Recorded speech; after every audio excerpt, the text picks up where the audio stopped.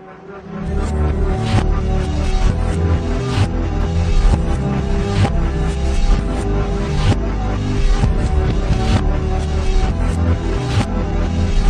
guys, and welcome to another episode of Among the Stars Celebrity Perfume Reviews. So, today I figured I'd sit down in front of the camera and kind of explain to you guys where the hell I've been for the last four months, roughly. So, a lot has happened in the last four months, and I know that you guys have noticed I haven't been as active on here as I would like to be, um, and so on and so forth. You guys would get random reviews every now and again. I mean, I gave you guys a Training Girl review almost a month ago, um, and haven't really been active since then, at least on YouTube, um, by producing video-wise at least. I'm still active, I'm still there. Um, I still reply to your guys' comments, I still reply to you guys' messages. You guys will shoot me messages on Twitter and Instagram or comment on my stuff, and I always try to reply to you back to you guys and talk to you guys, and so on. And I'm definitely trying. Um, but life has been very, very, very crazy over the last, we'll say, four months. So, a little bit of a snapshot into kind of my life, I guess. So, back at the, oh, we'll go back six months ago. Um, I decided while at Bath Body Works that I no longer wanted to be there. Um, and the fact of I knew I wanted to pursue bigger things. I wanted to go places that I'd be making more money, and not that you couldn't do that at Bath and Body Works, but with the situation at my particular location, the advancement opportunities were very slim and very limited. Um, not that they weren't there, because they definitely were. It's just they weren't coming in the fastest way that I would want them to be, and so on and so forth. And um, as you guys know, some of my friends work there, and I'm still really good friends with a lot of those people, and I mean no harm to them at all. And I don't want to go off and just bash and say that Bath and Body Works was a terrible place because it wasn't. It was one of my favorite favorite jobs I've ever had. I was there for almost a year. I just decided that it was time to no longer be there. So beginning of August, I left Bath and Body Works um, to pursue other jobs, and at the time, I did not have another job lined up, and it was not the best decision at the time. Uh, but circumstances being what they were, I left Bath and Body Works.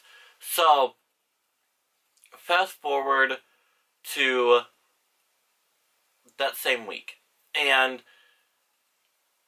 I don't want to say what I'm about to say in a mean way, but it really, really, really bothers me in a certain aspect. So, I left Bath and Body Works. I believe it was a Monday or a Tuesday. I think it was a Tuesday. And I had, you know, started applying for other jobs.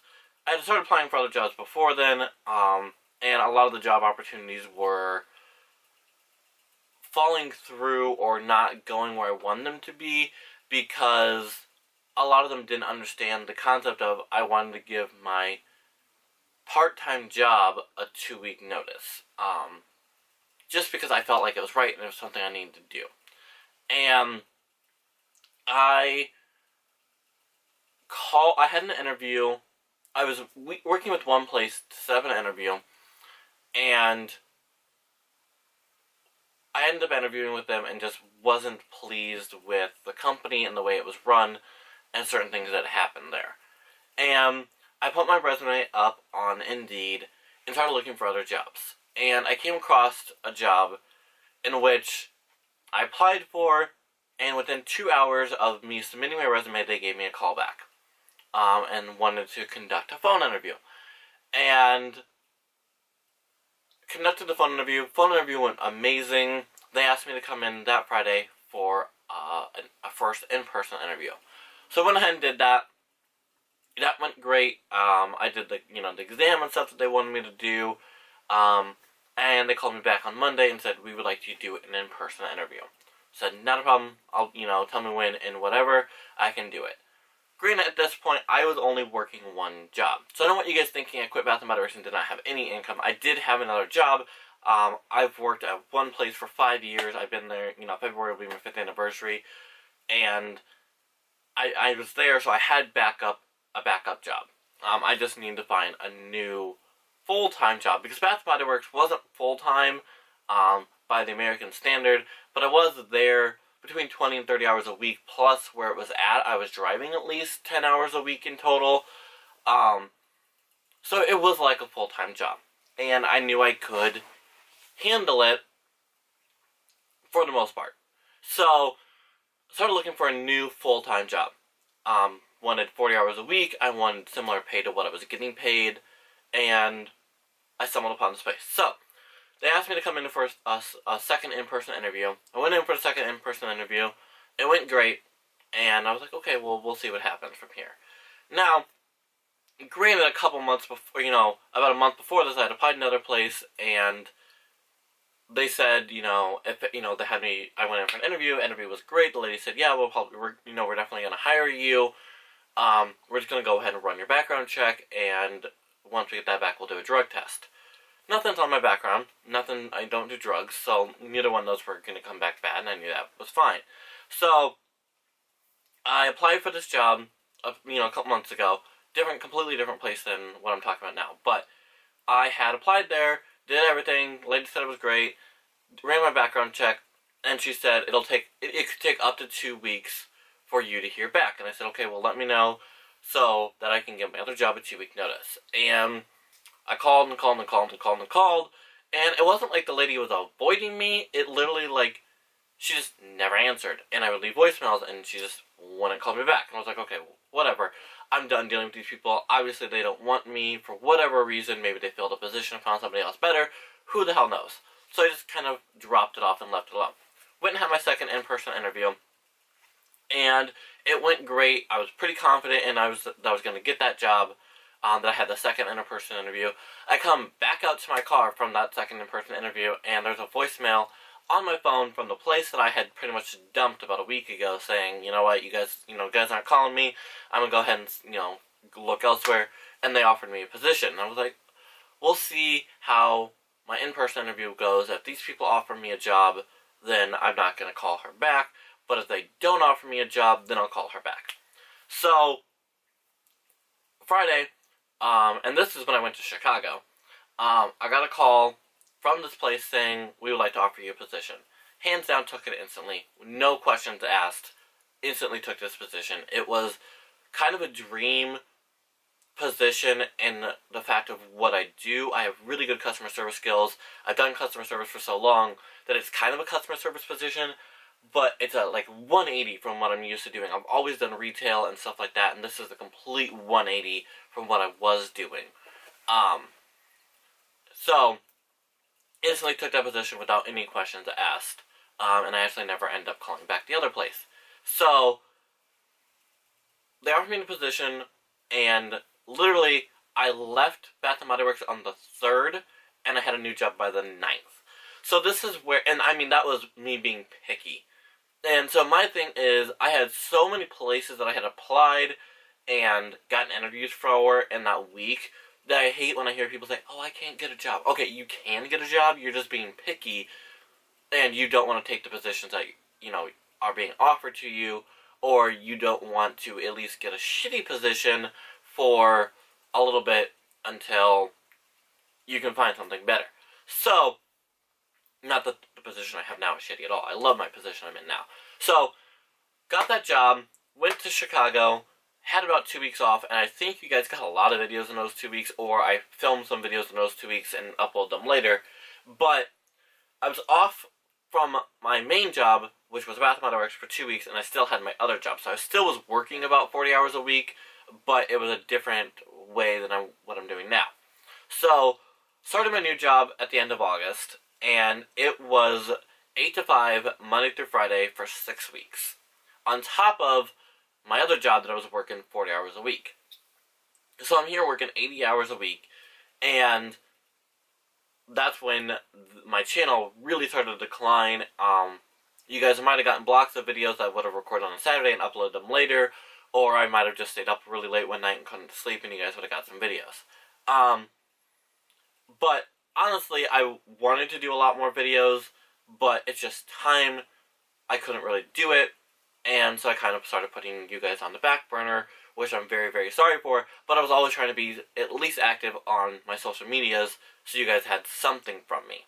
So, fast forward, did the six weeks of training, and then went to my, what is my normal schedule, which is now 1 to 10, and I still work my other job on top of that. So I'm still working, uh, I changed my schedule at my other job a little bit, so I'm only working about 76 hours a week now, not 80. Four hours doesn't really make a difference, but still. So, I cannot say in any way that I've ever been happier in my life, because I have been. This is amazing. I, I mean I've never been happier in my life, in, in my entire life. I found a position in which I fit in, and I've never felt more in place at a job. I love Bath and Body Works. I love being friends with people there. I made some great relationships with people there, but I felt like I was too invested in my passion for Bath and Body Works and fragrances and stuff like that before I went into working at Bath and Body Works. I feel like that kind of hindered the job aspect of it. Um, so I wasn't enjoying the job as much as I possibly could have. So in my new position, I'm not going to tell you what it is because I don't want to get too into my personal life, but working about 40 hours a week and making more money than I've ever made in my entire life. And not that that's at all relevant, but it's definitely different to take a breath, step back, and look at my age, look where I'm at, and say, you know, I don't understand people my age who continue to bitch, whine, and moan about all this other stuff. So, in my, I love my new job, and I'm finally at a point now where I feel like I can kind of take a step back and really start to work YouTube back into my schedule. I'm finally getting comfortable with my schedule the way it, it is now, and working the hours I am working, that I can definitely start doing more YouTube videos, which I'm definitely going to plan on doing. So, I'm back. I don't know exactly what I'm going to start doing. I want to start doing at least videos every Friday, um, because I feel like that's the best way it's going to work into my schedule. So, you guys will hopefully start getting new videos every single Friday, whether it's just a sit-down talk you video like this, or if it is a new review of either something I've had for a while, or something new that I've gotten in the last four months, or whatever it may be.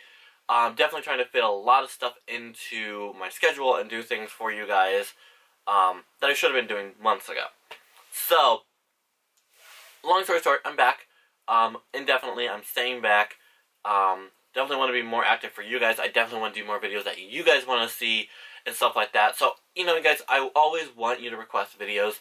Please, please, please, I cannot stress enough how much I request you guys to request videos because it honestly helps me give you guys the content that you want, and I want to make sure I'm giving you the content you want, and all that fun stuff. So, um, as a normal YouTube thing is, I would like you guys to hit the little bell, because that lets you guys know when I upload new videos, because YouTube decided to be janky, and do this, we're not going to notify people when they upload videos anymore.